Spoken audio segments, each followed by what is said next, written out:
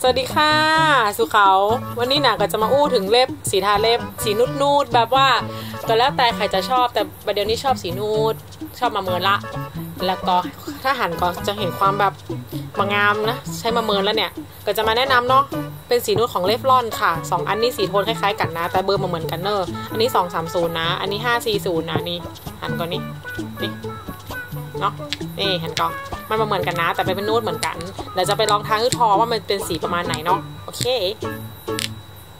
อะโอเคก็จะมาเริ่มท้าสี540ก่อนเนาะแต่อันนี้เปิ้ลคือลอง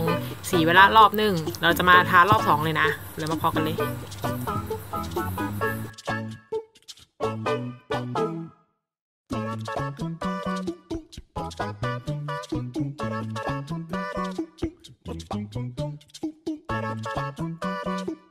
ก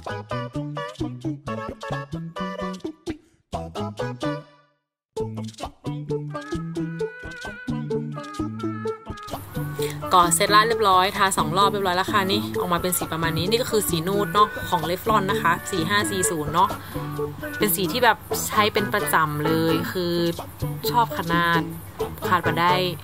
แต่แต่เหมาะกับทุกคนนะ ผิวเข้มผิวขาวอะ่ะ ก็ทาได้ เพราะว่าถ้าคนผิวเข้มทาก็จะแบบมือก็จะขาวขึ้น สว่างขึ้นปรับมือมือขาวขึ้นได้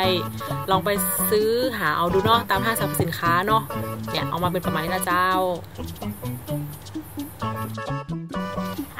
สีต่อมาเนาะก็คือสี230 ค่ะ อันนี้ก็คือเลฟลอนเหมือนเดิม สีนูดเหมือนกัน แต่อาจจะเข้มกว่าตะกี้น่อยนึงเนาะอันนี้คือขนาดลองไว้แล้วนะเนี่ยลองไว้ละหนึ่งรอบก็จะสีประมาณนี้ถ้าคนไหนแบบชอบลองไว้รอบหนึ่งก่อนก็ท้ารอบเดียวก็ได้เนาะก็จะได้ประมาณนี้แต่เราจะลองทารอบที่สองดูเนาะว่าจะเป็นอย่างไรมาไปเลยค่ะ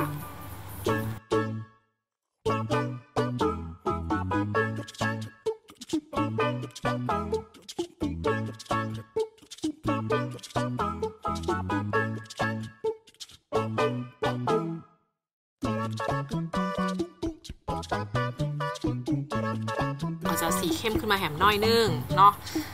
นี่ค่ะ อันนี้ก็ใช้เป็นประจำเหมือนกันสีนูดเนาะประมาณนี้เจ้า